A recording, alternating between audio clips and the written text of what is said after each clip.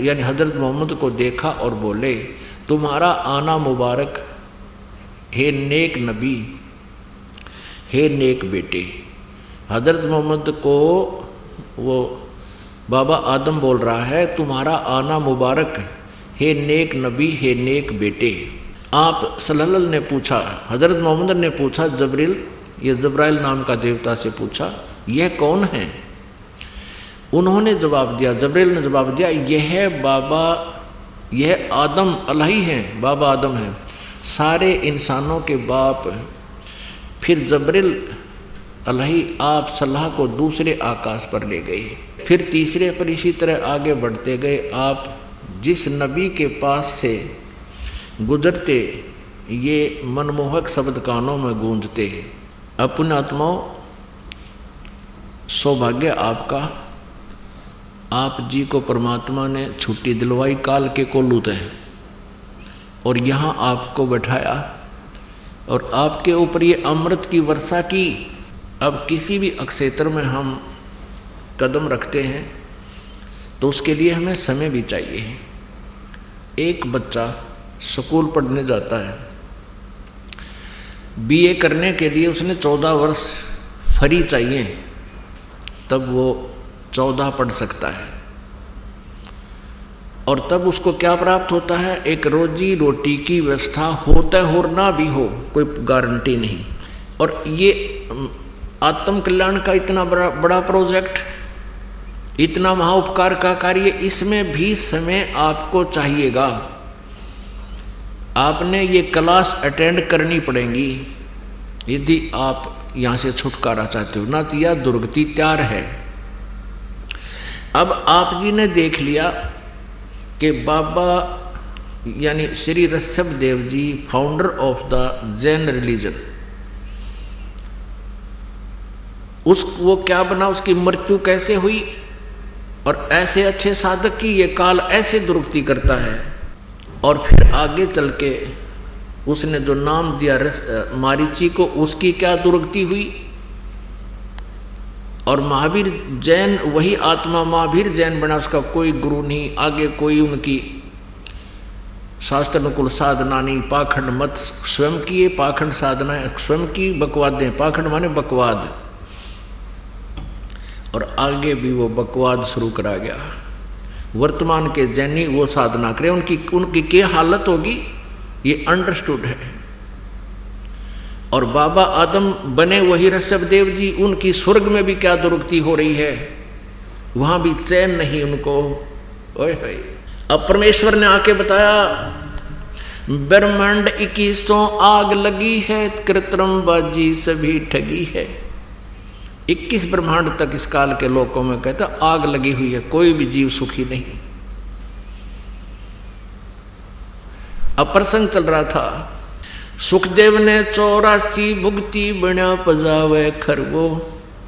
तेरी क्या बुनियाद प्राणी, तू पंडा पंथ पकड़वो।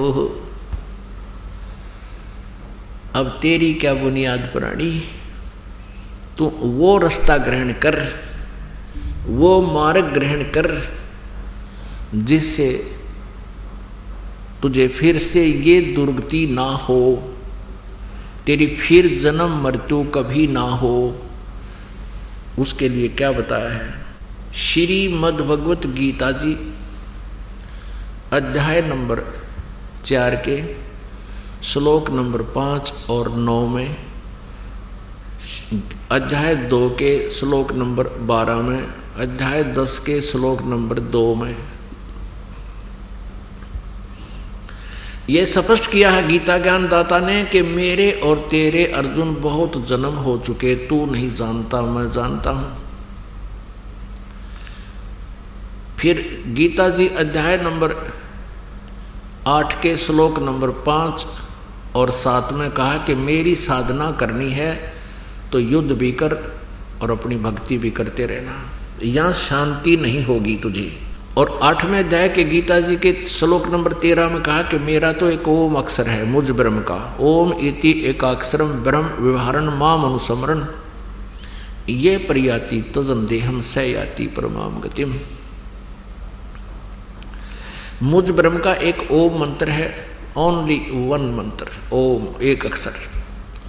और उच्चारण करके सिमन करता हुआ यह प्रियाति तदंदेहम जो शरीर छोड़कर जाता स याति परमाम गति वो ओम से मिलने वाली गति को प्राप्त होगा।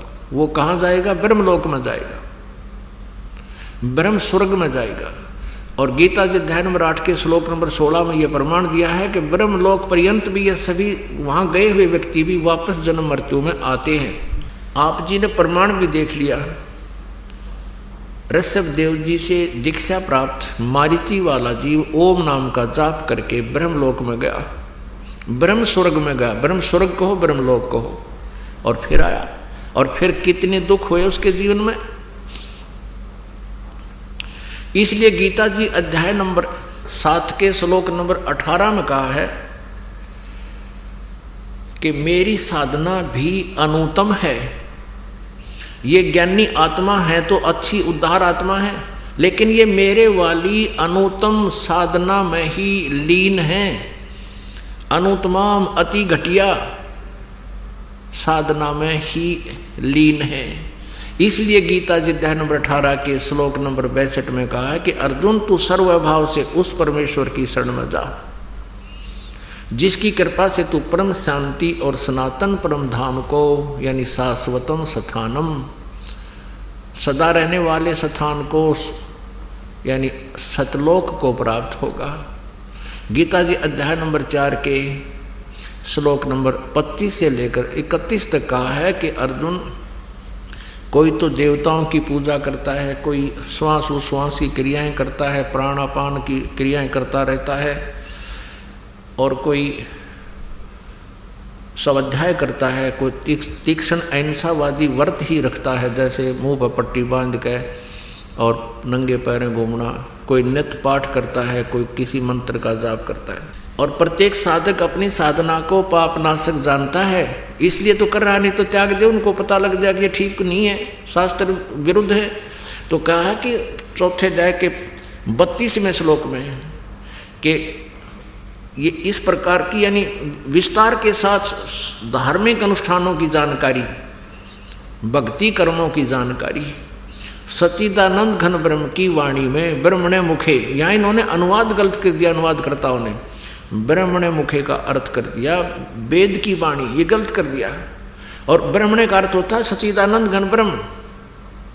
इन्होंने सातवें में जाए के तेईसवें श्लोक में गीता जी में सही किया है, ब्रह्मणे का अर्थ किया है सचिदानंद घन ब्रह्म। तो यहाँ ब्रह्मणे मुखे का अर्थ चाहिए था सचिदानंद घन ब्रह्म ने जो अपने मुखारविंद से, अपने मुख कमल से बोली है वो वाणी, उसको तत्व ज्ञान कहते हैं। उस तत्व ज्ञान में सचिदानंद घन ब्रह्म की वाणी में ये यथार्थ ज्ञान तत्व ज्ञान सत भक्ति विस्तार से कही गई है। उसको जानकर फिर किसी भी आप पाप को प्राप्त नहीं होगे। आप सब कर्मों से मुक्त हो जाओगे। चौथे अध्याय के चौंतीसवें श्लोक में कहा कि उस तत्व ज्ञान को जो सचिदानंद घन ने आके स्वयं बताया है, अपने मुख कमल से, उसको तत्वदर्शी संतों से जानो, समझो, उनसे पूछो। यानी गीता ज्ञानदाता अनभिज्ञ है। उस तत्व ज्ञान से।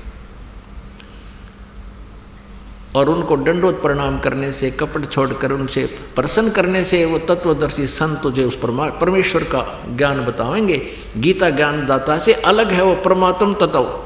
फिर तत्वदर्शी संत की पहचान बताई है पंद्रहवें अध्याय के प्रथम श्लोक में के ऊपर को जड़ वाला, नीचे को शाखा वाला, ये उल्टा लटका हुआ संसार रूपी वृक्ष समझो। और इसके जो सभी विभागों को, छंदों को अलग अलग टुकड़ों टुकड़ों को बता देगा, जानता है वेदवित। वो तत्वदर्शी संत है, वह वेद के तात्पर्य को जानता है। वो तत्वदर्शी संत है। परमेश्वर ने 600 वर्ष पहले कबीर परमेश्वर ने आके बताया था, अक्षर पुरुष एक पेड़ है, निरंजन वा की डार, और तीनों देवा शाखा है, ये पात्र रूप संसार। अब देखिएगा एक झलक। संसार रूपी वृक्ष की। ये संसार रूपी वृक्ष है। जड़ प्रोक्ष है, ज़मीन में होती है। ये देखिएगा। ये एक संसार रूपी वृक्ष है। ऊपर को मूल परमात्मा तो जड़ समझो, परम देव पुरुष, यानी पूर्ण परमात्मा तो ये जड़ है, मूल है। और ये तना कौन है? ये तना कौन है? कौन भगवान है, डार कौन भगवान है, पत्ते कौन, शाखा कौन भगवान है और पत्ते कौन है? जो इनको विस्तार से बता दे। पंद्रहवें गीता जी अध्याय नंबर पंद्रह के श्लोक नंबर एक से चार और सोलह सत्रह इसके ऊपर पूर्ण रूप से जो ना समझ में आएँगे। ये ऊपर को तो जड़ है पूर्ण परमात्मा, पूर्ण ब्रह्म परमेश्वर, परम अक्षर ब्रह्म। ये इतना हिस्सा तो। और इससे बाहर जो दिखाई देता है, ये तना तुरंत ज़मीन से बाहर। ये अक्षर पुरुष है, इसको परब्रह्म भी कहते हैं। इससे एक डार निकली इसको ब्रह्म समझो, ये ज्योत निरंजन समझो, इक्कीस ब्रह्मांड में जहाँ हम रह रहे हैं। और इसके आगे तीन शाखाएँ हैं, ब्रह्म के पुत्र हैं, रजगुण ब्रह्मा जी सतगुण विष्णु जी, तमगुण शिव जी, ये शाखा हैं और हम पात रूप संसार। परमेश्वर ने आके बताया, कबीर जी ने अक्षर पुरुष एक पेड़ है निरंजन वा की डार, और तीनों देवा शाखा है, ये पात रूप संसार। अब आपको गीता जी अध्याय नंबर पंद्रह के अब दिखाते हैं, एक से चार श्लोक। अब कहने का भाव ये है कि जैसे आपने एक सेंटेंस सुना परमेश्वर की सचिदानंद घनब्रह्म की वाणी में, सुखदेव ने चौरासी भुगती बिना पजावे खरवो तेरी क्या बुनियाद पुरानी तू पेंडा पंथ पकड़े वो सुखदेव जैसे महापुरुषों ने भी चौरासी लाख योनियों में गधे की योनियाँ भी भोगनी पड़ी। तो तेरी क्या बुनियाद है? जब सच साधना नहीं करेगा तो तू कैसे बचेगा? वो साधना तुम्हें प्राप्त भी नहीं है तो वो ऋषि लोग करते थे और फिर भी उनकी दुरुक्ति हुई। अब वो मार्ग पकड़, वो रास्ता ग्रहण कर जिससे ये छुटकारा हो, वह जानकारी अब दी जा रही है। आप जी को ध्यान से सुनना इसको। अब देखिए श्रीमद् भगवद गीता जयदयाल गोविंद का इसके अनुवादक हैं, गीता प्रेस, गोरखपुर से प्रकाशित है। अब देखिएगा पंद्रहवें अध्याय का प्रथम श्लोक दिखाते हैं आपको। ये है अथ पंचदशो अध्याय। पंद्रमा अध्याय, ये प्रथम अंतर ऊर्धव मूलम अध शाखम। ऊर्धव माने ऊपर को जड़, मूल और नीचे को शाखा, अध शाखम। अश्वथम प्राहु अवम छंदासी यस्य प्रणानी, ये तम वेद स वेदवित।